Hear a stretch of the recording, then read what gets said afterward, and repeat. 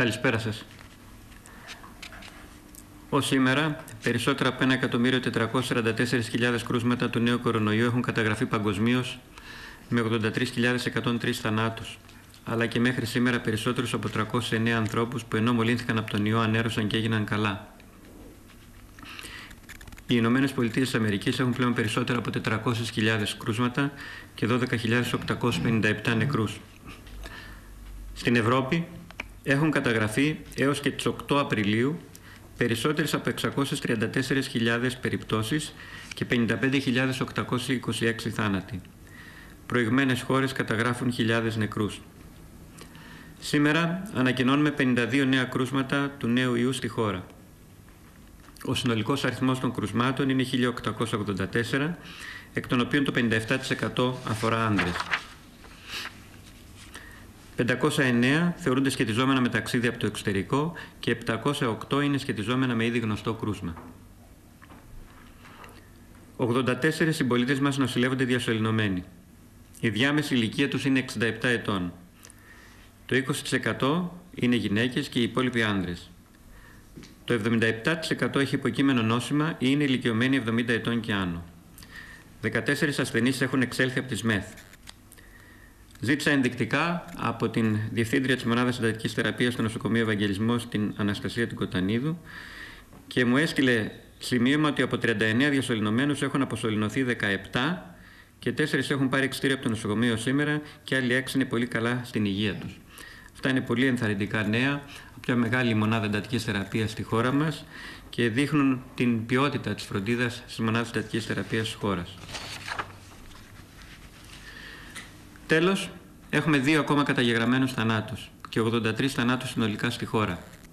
23 αφορούν γυναίκες και οι υπόλοιποι άνδρες.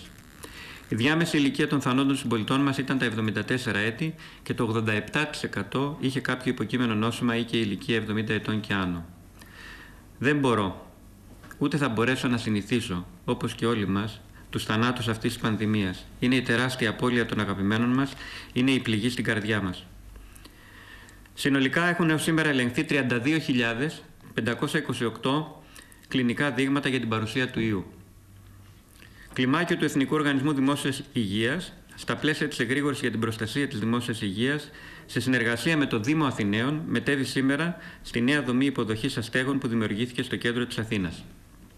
Πραγματοποιήθηκαν έλεγχοι για το νέο κορονοϊό στο πλαίσιο της προστασίας ευάλωτων πληθυσμών και ομάδων. Η πλήρωση των κλινών της δομής γίνεται σταδιακά και εξετάστηκαν όλοι όσοι επισκέφθηκαν τη δομή. Σχετικά με την ευρεία χρήση μάσκας από το γενικό κοινό, στην κοινότητα δηλαδή, τοποθετήθηκε πριν δύο μέρες ο Παγκόσμιος Οργανισμός Υγείας και σήμερα το Ευρωπαϊκό Κέντρο Ελέγχου και Πρόληψης Νοσημάτων.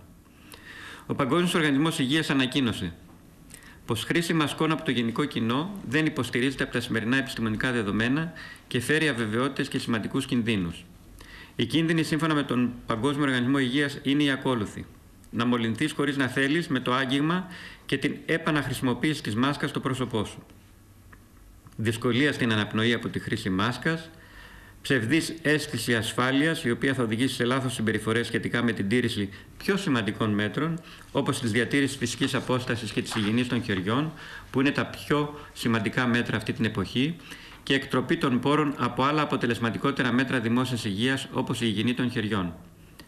Επίσης, ο Παγκόσμιος Οργανισμός επανατοποθετήθηκε πως τα πιο σημαντικά μέτρα αυτή τη στιγμή για όλα τα άτομα είναι αυτά που ξέρουμε πολύ καλά, που έχουμε επαναλάβει χιλιάδες φορές να αποφεύγουμε συνοστισμό και κλειστούς χώρους, να διατηρούμε φυσική απόσταση τουλάχιστον ένα μέτρο από άλλα άτομα, ιδίως από άτομα με αναπνευστικά συμπτώματα, όπως βήχα και φτάρνισμα, να εκτελούμε συχνά την υγιεινή των χεριών χρησιμοποιώντας αντισηπτικό ή σαπούνι και νερό, ιδιαίτερα όταν οι χέρια μας είναι ορατά βρώμικα, να καλύπτουμε τη μύτη και το στόμα μας με ένα λυγισμένο αγκώνα ή χαρτομάτιλο όταν δείχνουμε ή φταρνιζόμαστε, το οποίο θα πρέπει να το πετάμε αμέσως μετά τη χρήση και να πλένουμε τα χέρια μας και να αποφεύγουμε όσο μπορούμε περισσότερο να αγγίζουμε την περιοχή του προσώπου.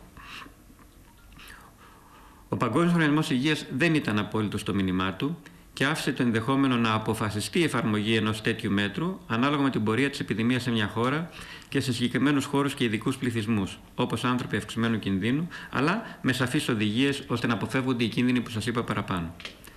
Παρόμοια θέση πήρε το Ευρωπαϊκό CDC, το Ευρωπαϊκό Κέντρο Ελέγχου και Πρόληψης Νόσων, αναφέροντας περισσότερα επιχειρήματα κατά παρά υπέρ της χρήσης της μάσκας από το γενικό κοινό. Άφησε όμως το ενδεχόμενο χρήσης της ανοιχτό ώστε να δώσει, όπως λέει στην αναφορά του, λιγότερες ευκαιρίες στον ιό να μεταδοθεί από ασυμπτωματικούς ανθρώπους ή ανθρώπους λίγο πριν παρουσιάσουν συμπτώματα και σε περιπτώσεις όπου υπάρχει ψηλό συγχρονισμός, δηλαδή κλειστή χώρη, και όταν υπάρχει σημαντική μετάδοση στην κοινότητα, όπως αυτή τη στιγμή σε κάποιες χώρες της Ευρώπης. Έκνα πω το θέμα είναι σημαντικό και αύριο θα σας αναφέρω την τελική τοποθέτηση μετά την έκτακτη συνάντηση της Επιτροπής μας αμέσως μετά. Θα επανέλθω για λίγο στο θέμα των τεστ. Μια στρατηγική τεστ, όπως έχω πει, πρέπει να έχει κριτήρια επιλογής αλλά και αντίστοιχη ικανότητα του συστήματος.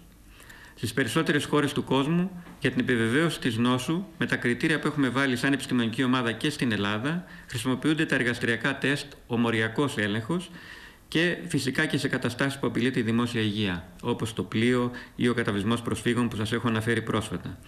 Τα ίδια κριτήρια με εμάς έχουν υιοθετήσει και διεθνείς οργανισμοί.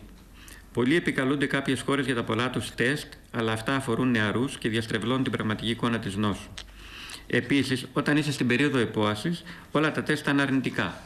Και για να γίνει ακόμα πιο περίπλοκη εικόνα, όπως σας έχω πει, κάποιοι μολύνονται και καταπολεμούν τον ιό χωρίς καν να αισθανθούν άρρωστοι. Όπως καταλαβαίνετε, είναι αδύνατο να αναγνωρίσουμε όλα αυτά τα άτομα χωρίς να ελέγχουμε μαζικά όλους, δηλαδή 10 εκατομμύρια 700.000 Έλληνες κάθε μέρα. Πρώτον αδύνατον και δεύτερον λάθος πατάλη των πόρων. Ο μαζικός έλεγχος μου θυμίζει το πείραμα της Ισλανδίας, μια χώρα με ένα πολύ μικρό πληθυσμό. Παρακολουθούμε τις εξελίξεις σχετικά με τα τεστ και τις διαφορετικές του κατηγορίες. Μοριακά για τη διάγνωση που χρησιμοποιούμε τώρα, αντισώματα για το αν πέρασε στη νόσο. Ετοιμαζόμαστε να τα χρησιμοποιήσουμε στο άμεσο μέλλον, ως Εθνικός Οργανισμός Δημόσιας Υγείας και Υπουργείο Υγείας, με ειδικό επιδημιολογικό σκοπό, με επιδημιολογικά κριτήρια, ώστε να αποκτούμε όσο τη δυνατόν καλύτερη εικόνα για την πορεία του ιού στη χώρα, για την ακόμα πληρέστερη επιδημιολογική επιτήρηση. Θέλουμε τα στοιχεία αυτά να τα χρησιμοποιήσουμε ώστε να προχωρήσουμε με τον ασφαλέστερο δυνατό τρόπο στην επόμενη φάση. Να μας χρησιμεύσουν τα δεδομένα αυτά για την επόμενη χρονική περίοδο αυτής της πανδημίας.